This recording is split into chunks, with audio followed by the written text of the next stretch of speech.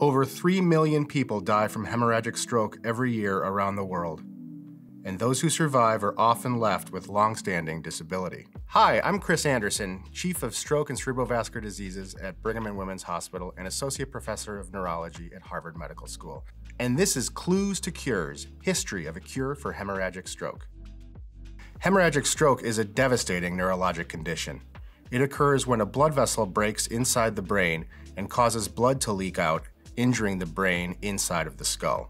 This blood pushes on the brain and causes nerve cells to begin to die in just a few minutes. The blood vessel that bursts can be due to an underlying condition such as an aneurysm or arteriovenous malformation, or due to long-standing weakening of the blood vessels due to conditions like hypertension or high blood pressure. Millions of people around the world die from hemorrhagic stroke every year, and those that survive are often left with lingering symptoms such as weakness, speech and swallowing difficulties, and even dementia.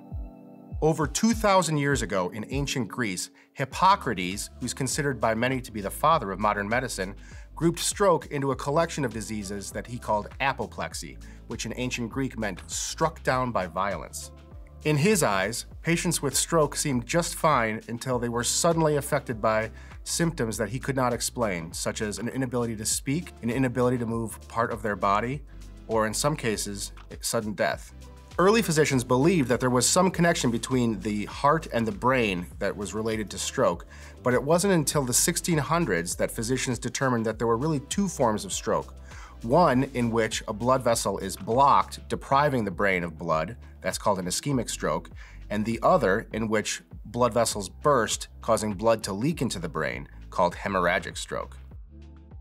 While in ischemic stroke, there are several new innovative therapies that we can offer to remove blood clots and restore blood flow, treatment of hemorrhagic stroke remains limited and is often focused on preventing the hemorrhage from happening in the first place, as well as novel treatments to limit the damage caused by the bleeding and to prevent bleeding from happening again.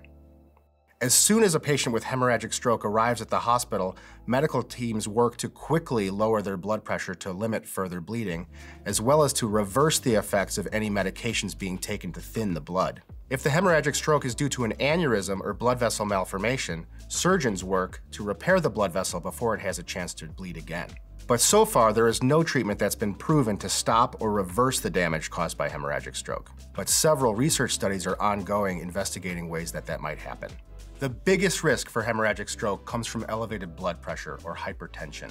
Researchers at Mass General Brigham are working hard to discover new ways to identify patients who are at a high risk of hemorrhagic stroke or a high risk of hard to treat blood pressure using things like genetics, social determinants of health, and other risk factors. For instance, there are tiny differences in our genetic code, and each one of those differences contributes slightly to our risk of many diseases, for instance, hemorrhagic stroke. If we add each of those tiny risks together, we can create something called a genetic score, which collectively tells us about the risk of a patient across a distribution and can identify those who are at a particular risk of an outcome like stroke and who might benefit specifically from treatments to prevent it. With that kind of personalized risk information, we can pair the right treatment and the right kind of attention with the right patient, working to reduce the risk of hemorrhagic stroke and preventing this deadly event from happening. Thank you for watching. Click here for more Clues to Cures videos.